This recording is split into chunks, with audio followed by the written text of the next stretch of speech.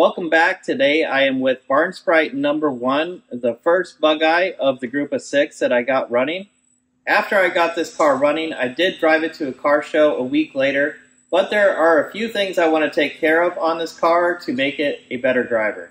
So today I'm going to upgrade it with a dynamator, which is a alternator inside of a generator case, which will keep the engine bay of this car looking completely original but the charging system will be far more reliable than the original unit. Pictured here I have an example of an original generator from a Sprite and next to it is the dynamator. This is the way it comes. We will have to swap the pulley over. On the early Sprites, the tachometer is driven off of the back of the generator, and the dynamator is also provisioned for driving the tach off the back of it. You can get a lot of different brands of these. Here I have one from Powerlite, and WOSP also makes them. They do come with a pulley and it's a much smaller pulley, so you will have to get another belt in order to install one of their units. And no matter which unit you get, you are going to need one of these dummy regulator boxes.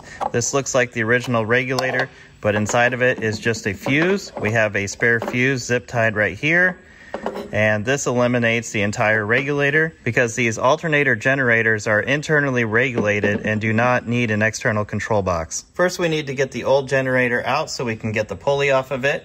You can see the tach drive gearbox on the back here. So we need to disconnect the tach drive as well as two wires that are on the back of it.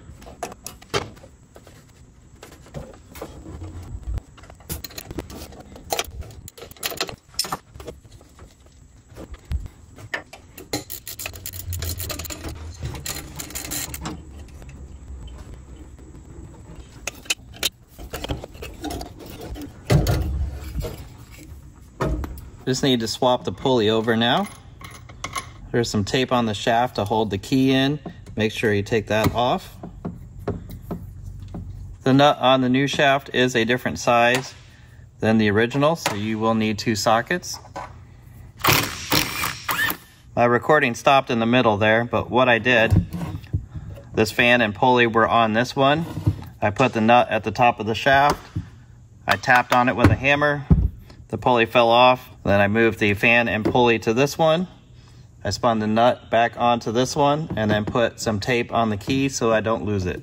Now you just reinstall the dynamator just like the generator was originally held in there. And by the way, I should mention this is much, much lighter than the original generator, probably by a third. The dynamator is installed. The next thing we need to do is replace our original regulator with the one that just has a fuse in it. So I'm going to take this one loose disconnect all the wires, connect them up the same way to this one, except we will need to be moving one wire. But I'm going to transfer all the wires just the way they are to this one first, and then I'll show you which wire to move. I have all of the wires switched now. Now what I need to do is take this little wire off of the D terminal and move it to the next one over to the F terminal. This is our wire for our ignition indicator and we need to move that so that it's connected to the other terminal on the dynamator compared to where it was on the generator. I have it moved over, now I can bolt the regulator down. All right, regulator's bolted down.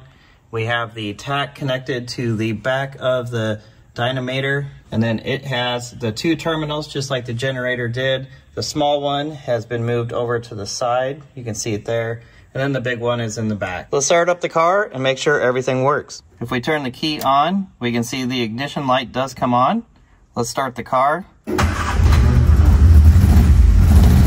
Ignition light went off. Our tachometer is working. Now let's go check the voltage. I have the leads for my voltmeter connected across the battery. Let's turn my voltmeter on. And we are at 12.3 volts. Let's rev it up a little.